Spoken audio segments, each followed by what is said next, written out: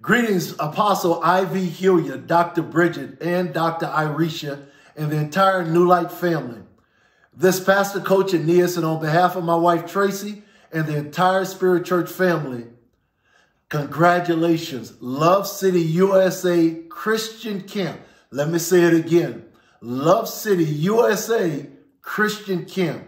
A camp like no other, typically of the visionary apostle. Apostle, I have my Hall of Fame jacket on and my Hall of Fame ring because these faith projects, whether they come quickly or they come over years, you never cease to amaze me. Or when you're willing to believe and willing to have patience to see it come to fruition. If they were writing the Bible today, Apostle and Dr. Bridget, your stories would be in chapter 11. At least that's what I think. And having on his Hall of Fame jacket just reminds me you are a Hall of Faith man.